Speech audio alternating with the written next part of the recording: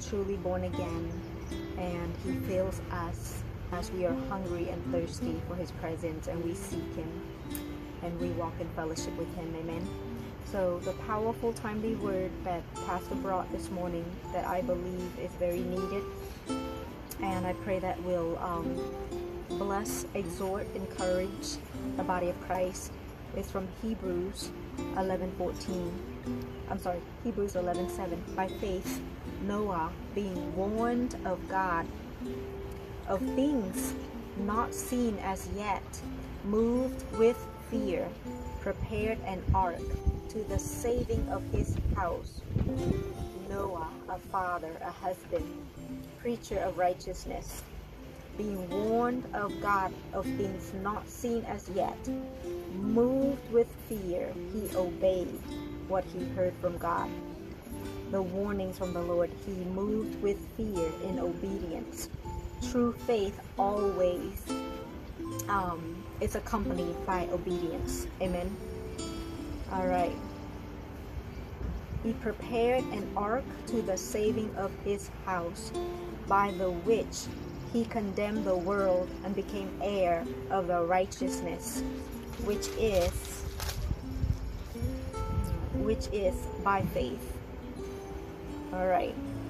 And the next verse is about Abraham. By faith, Abraham, when he was called to go out into a place which he should after receive for an inheritance, obeyed, and he went out, not know, not knowing whither he went.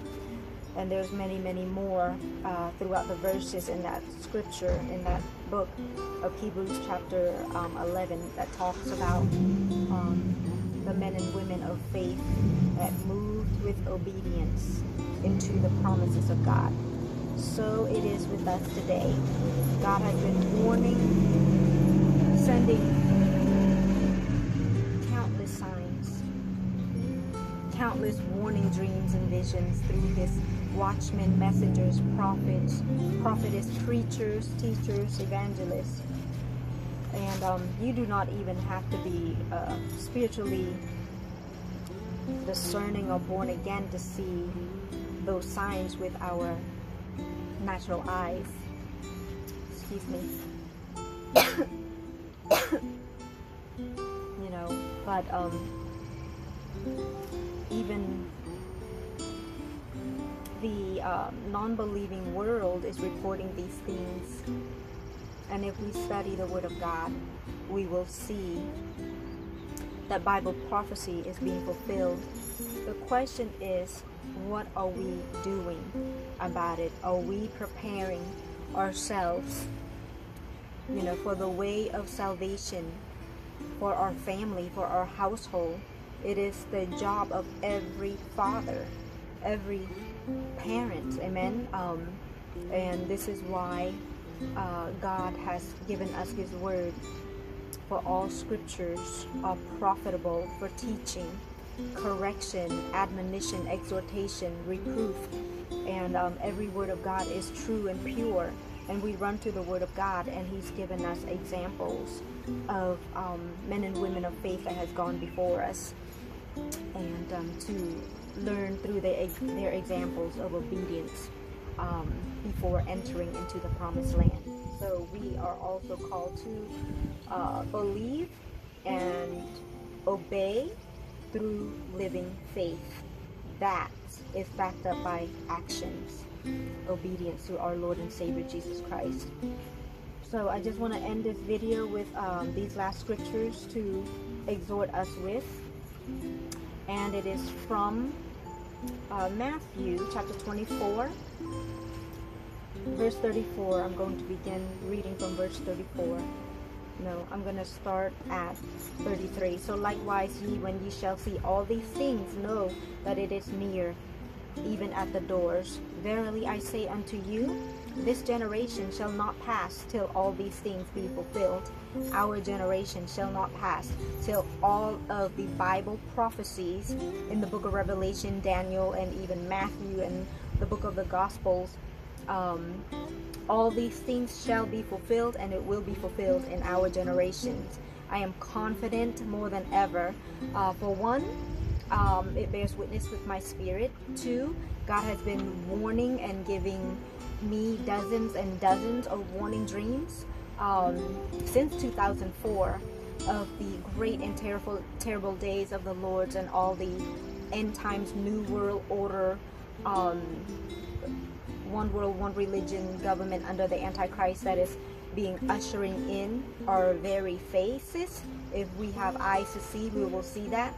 And um, so, you know, the judgment that's coming upon the world and uh, and also the transformation of the bride, the transformation of the elect, and the rapture of the bride, um, the persecution of the saints and the church in these last days. So all of these things will be fulfilled in our days, in our generation. So God has been giving us endless, countless warnings, and we are to prepare ourselves, get our house, our family, our children in order, prepare our ways for the ways of salvation, which is coming to Jesus Christ, repenting and turning from our sins, and following our Lord and Savior Jesus Christ, obedience till the end. Amen. Just as um, Noah and Abraham and Jesus himself, who was an example for every heir of salvation, obedience unto death, until death, obedience till the end. Amen. All right. So, where am I at?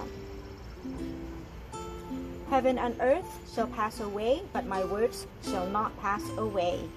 But of that day and hour knoweth no man, no, not the angels of heaven, but my Father only. Only God the Father knows that day.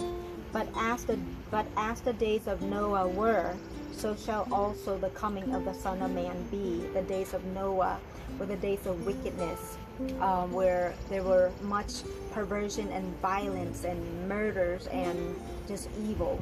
And the word of the Lord tells us that God was so sorrowful and he regretted even making mankind. That's how wicked it was. And we are now approaching and living in the days of Noah, just like back then, you know, with the um, all the evil of um, abominations of you know the the same sex marriages that we America as a nation has legalized throughout the land the continual murder of innocent lives murdering God's most precious innocent helpless beautiful creation children infants unborn babies and even the ones that are born that are being murdered much violence, you know, the the riots, the looting, the murder, the stealing. The evil is great, and it is. The Word of God tells us that um, darkness will engross the earth. So, um, for us, the children of God, we know that brighter days, glorious days are ahead for us. Amen that we put our hope, our faith, our trust in Him. We follow Him because we love Him. Amen. God will deliver us. He will deliver those who love and honor Him, fear Him, obey Him. He will surely deliver all of His righteous ones out of every afflictions, as His word promised, as He delivered Noah and his family. All right. For as in the days that were before the flood, they were eating and drinking, marrying and giving in marriage, until the day that Noah entered into the ark, and knew not until the flood came and took them all away. So shall all the coming of the Son of Man be. Then shall oh, let me stop right here. I just um, the Lord is bringing to remembrance this dream that He gave me a few weeks ago, and um, I I shared half of it excuse me, but I did not finish sharing the other half because the notes that I printed for that uh, were printed up, but um, my husband moved the office and now I can't find those notes. So I've not shared it, but I've seen so many confirmations. A few weeks ago, the same time that the Lord gave me this dream, uh, and that dream was this that um, there's a flood of judgment, tidal waves of judgment coming to the land. And in this dream, the Lord gave me instructions to tell the people that confess your sins, confess and repent, and the Lord will have mercy upon you and the judgments that is coming, the tidal waves of judgment that's coming upon the world will not overtake you, and He will show mercy upon those who confess their sins, repent, and turn to Him. And then the second part of that dream was the tidal waves of glory, God's glory that will come upon the earth, upon the sons and daughters of God. Those that are hungry and thirsty for righteousness, who will turn, who will repent from all falsehood, unbelief, idolatry, adultery, addictions, deceptions, and who will not who will not bow down to um, anything of the world, but choose to be transformed by the renewing of their mind and by the power of the Holy Ghost, who will set themselves apart from the corruption, pollution, perversions of the world. The tidal waves of God's glory